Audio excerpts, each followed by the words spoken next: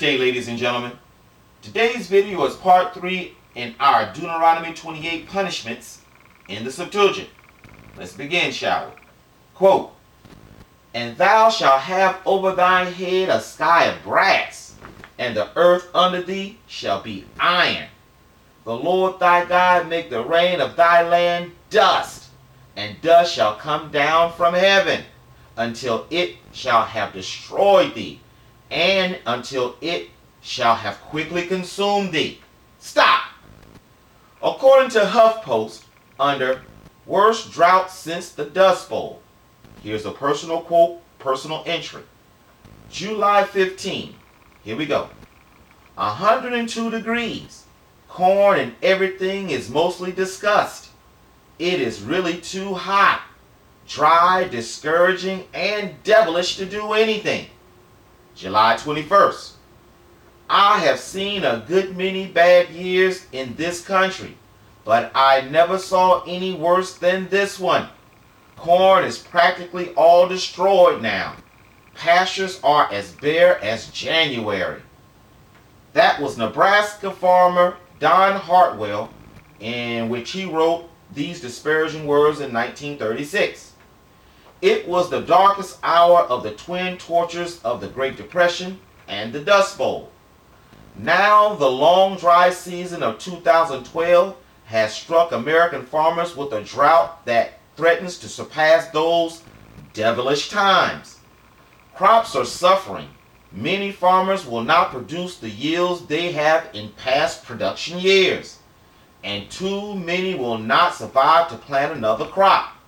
Minority owned farms, usually the most precarious in their operations, will be especially hit hard. Most farmers rely on farm subsidies or federal crop insurance to cover the crop losses. Many black farmers and other small producers cannot afford federal crop insurance premiums. They are just too expensive. This year's drought seems to be different than those of the past. Many states have experienced record number of 100 plus degrees temperature for weeks at a time. No crops can withstand such a temperature without rain. Example, people, the punishments of Yah never stop. You are just caught up in these people devices. What about those who have made it, you wonder? I don't know. Could be. Their names are not written in the book of life to begin with. Or they are not truly Israel. But we do know some of the so-called African Americans are still exhibiting specific characteristics of the punishments of Yah among the tares today. Why am I harping on this, you ask? Because if you do not acknowledge we are still under each and every punishment, no matter how the blue-eyed devil has double-tongue twisted it into an accomplishment, what incentive is there for you to cry out to your God to be saved? I'm harping to show you our punishments were meant to be a humbling mechanism. But the evildoers have turned the requirements of humility to be saved into a freaking achievement to be praised. Wow! I wouldn't be surprised to find out the song We Shall Overcome wasn't channeled by a demon. I'm also harping to show you what you now deem as normalcy and inherent truth that were self-evident are nothing more than the handy craftsmanship of master sorcerers, wizards, and alchemists working and recruiting you with a job to do their wicked bidding under the guise of the betterment of society, which can only mean their matrix of deception and Yah's word, thus your destruction, are perpetual. Yah's awesome. What he say he gonna do, he do. But let's continue with the video subject, shall we? Quote, The Lord give thee up for slaughter before your enemies. Thou shalt go out against them one way and flee from their face seven ways. Semicolon. And stop. there is a semicolon behind the word ways. And everybody knows what that means about what comes next, right? If not, don't fear and let your hands be strong. Because the word and pretty much does the same thing as a semicolon in this situation. Almost like Yah wanted to make sure this happened to no other people but one upon the face of the planet. Meaning, whatever comes next is in conjunction to what we just read and must be looked upon as a whole and not partially. You get it? You got it? Let's go. Quote, and thou shalt be a dispersion in all the kingdoms of the earth. Stop. Okay, the first part. According to Wikipedia under Tipu Tip, quote, this asshole was, oh, my bad, my bad, that was me. That, that's just, that was me. Let's continue. Tipu Tip was a Swahili Zanzibari slave trader. Stop. So much for those who claim these Afrikaners heathens are Israel. But let's continue. Quote, he was known by the people of the African Great Lakes as Tipu Tib, after the sounds that his many guns made. Let me read that again. It's important. He was known by the people of the African Great Lakes as Tipu Tib, after the sounds that his many guns made. An ivory trader, explorer, plantation owner, and governor, he worked for a succession of sultans of Zanzibar. Interstage left, the Ottoman sand crackers we read about in early videos. Let's continue. Tipu Tip, trader and slaves for Zanzibar's clove plantations.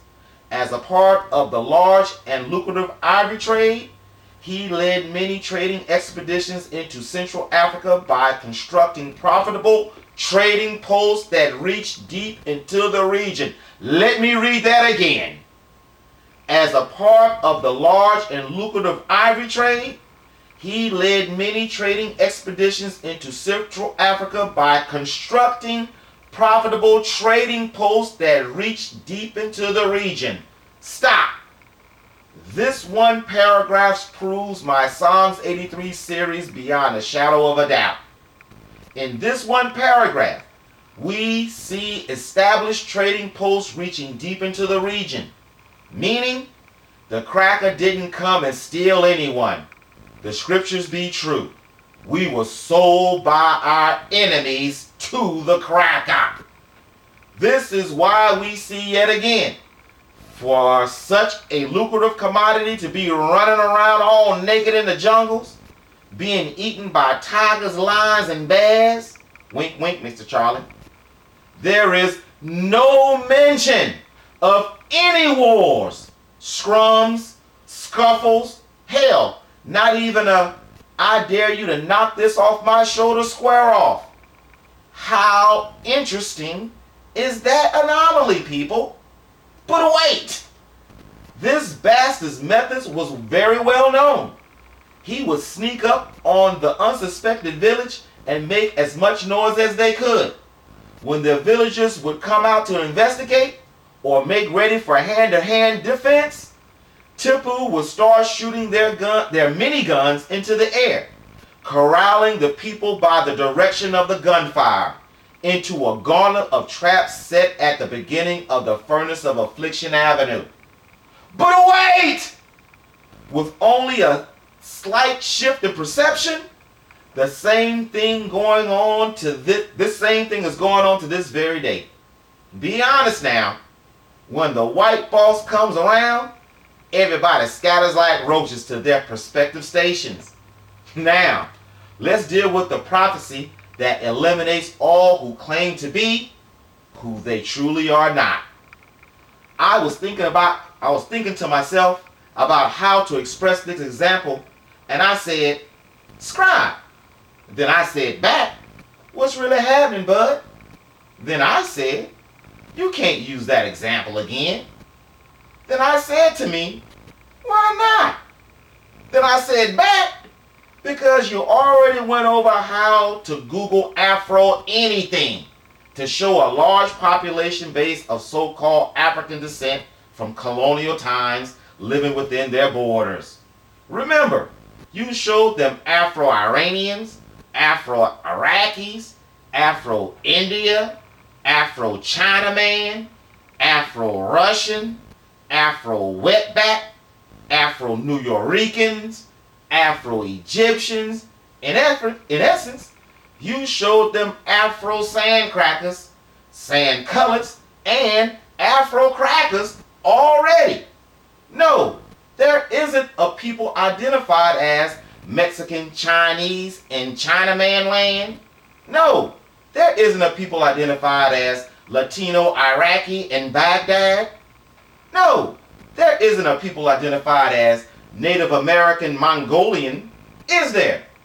Nope. Then I cut in and said to me, well, hmm, I guess I need to act like some of these Hebrew Christians. Mulatto Jesus! Oh, baby steps, scribe. Baby steps.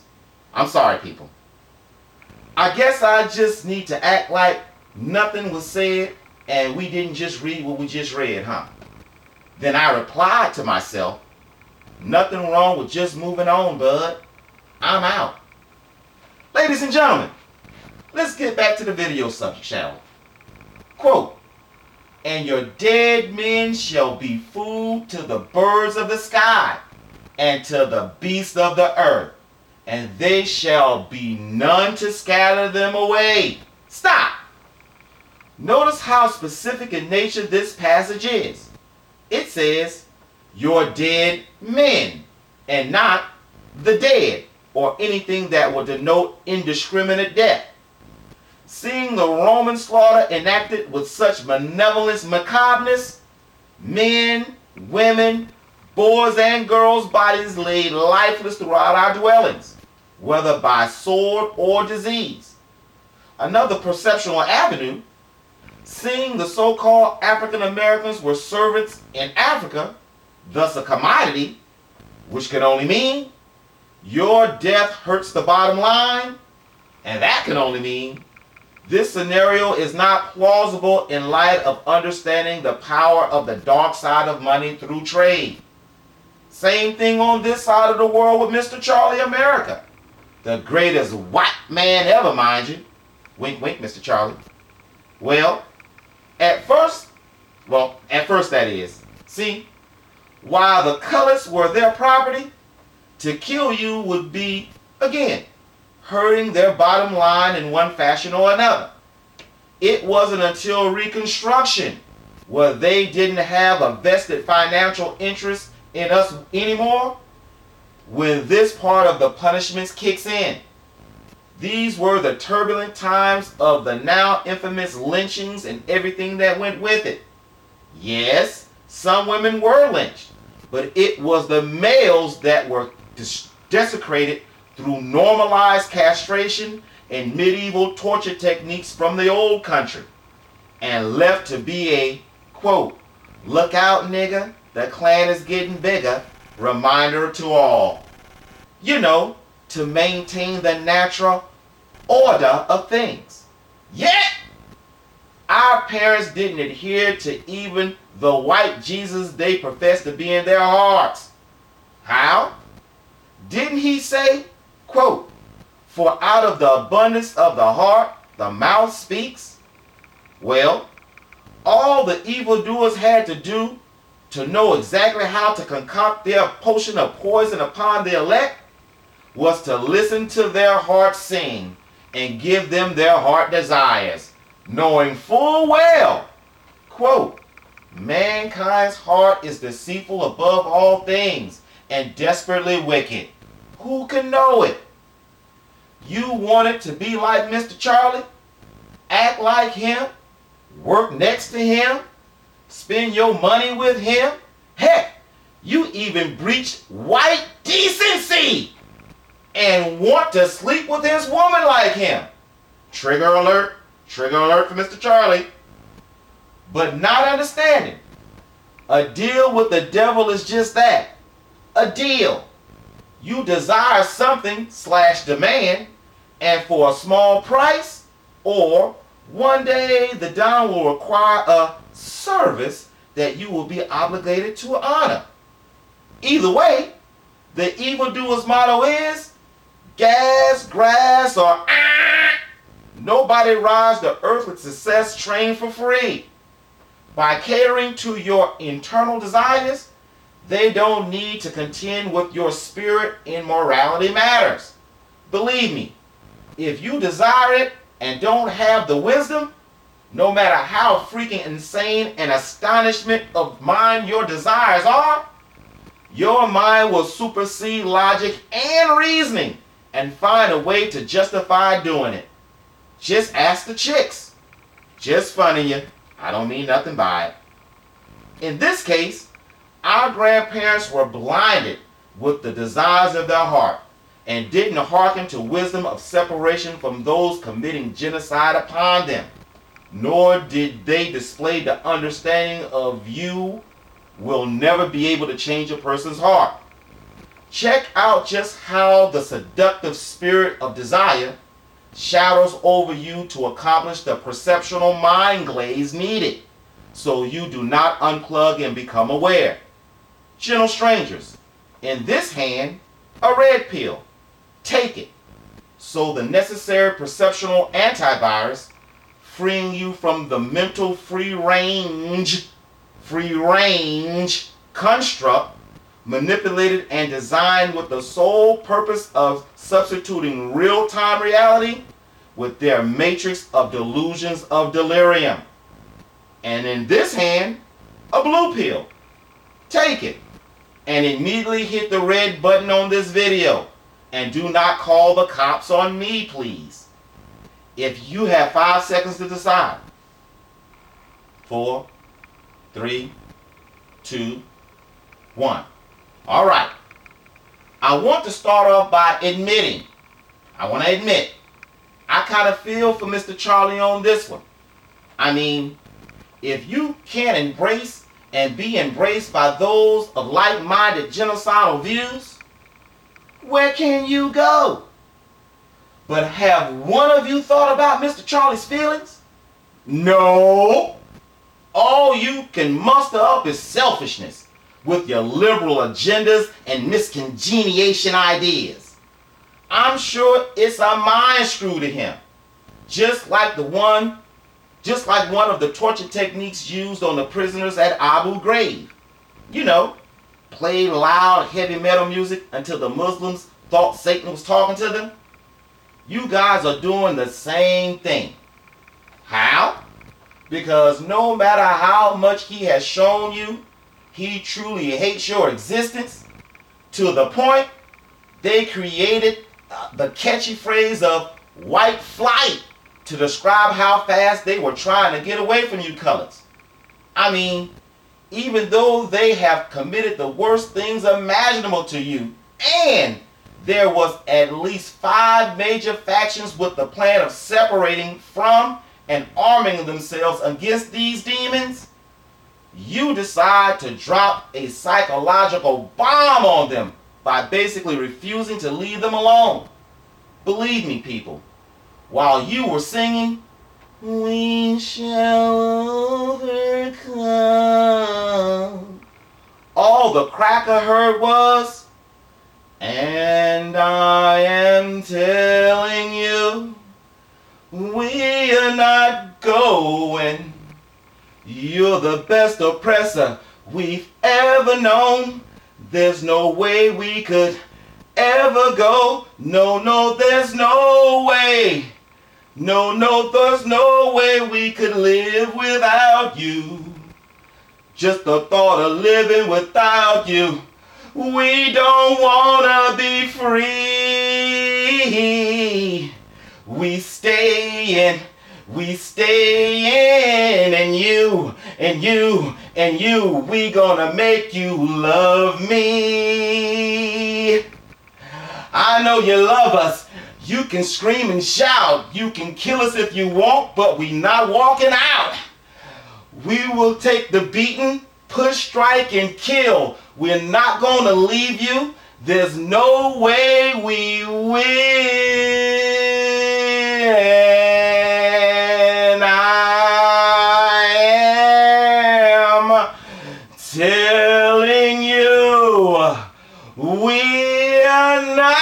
Going.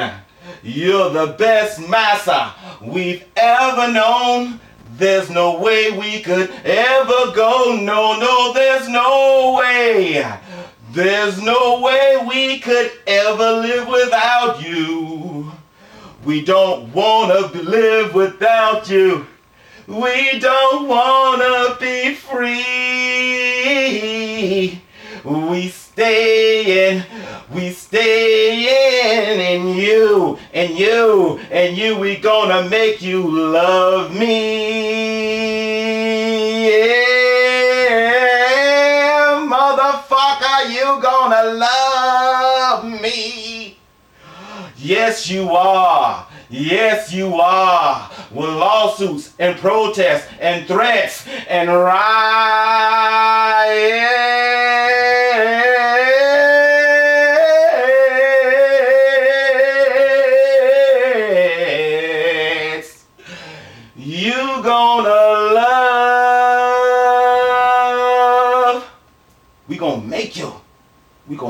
You. Kick it. Me.